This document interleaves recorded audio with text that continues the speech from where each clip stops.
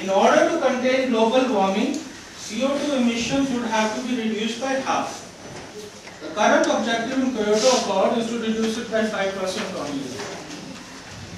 देखिए तो carbon dioxide gas है जिससे ग्लोबल वार्मिंग हो रही है अगर ये 50 परसेंट रिडक्शन हो तभी जाके ग्लोबल वार्मिंग में इम्पैक्ट होगा इस वक्त जापान का जो ट्रीटी साइन हो रहा है क्योटो का उसमें उनकी टारगेट खाली पाँच परसेंट रिडक्शन की है और वो भी इस वक्त I live in Dubai United Arab Emirates in the year 2010 2011 sorry they are banning the of plastic bags they will not produce and not utilize any plastic bags in that country they have to be manufactured by degradable plastic material.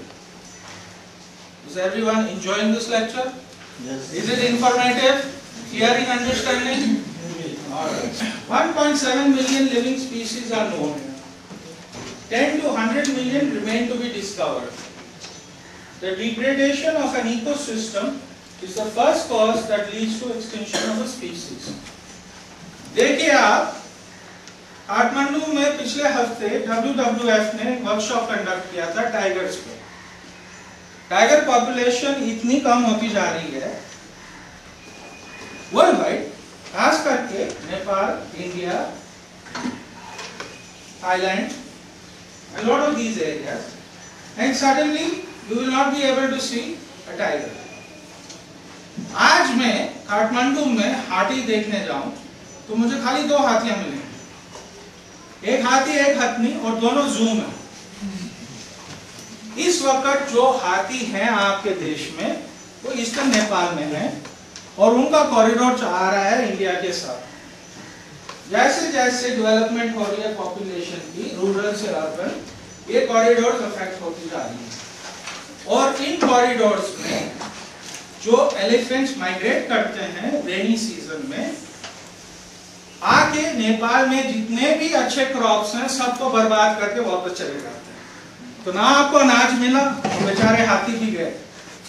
और corridor industrialise होता गया। So the man is expanding his industry, but he is forgetting that he is taking it from the land of these animals.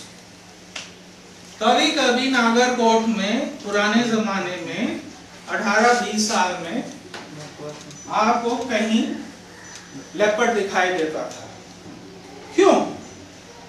क्योंकि वो बेचारा और कहाँ जाएगा खाना ढूँढने के लिए? क्योंकि सारे तो जितने फॉरेस्ट थे, कम होते जा रहे हैं। जैसे कम होंगे एनिमल सिटी को अप्रोच करेंगे। बॉम्बे सिटी में कभी कभी फॉरेस्ट एरियाज़ हिल एरियाज़ से लेपर्ड्स आ जाते हैं। This is a natural phenomena because animals instinct is food and he finds food easier in the city than in the forest.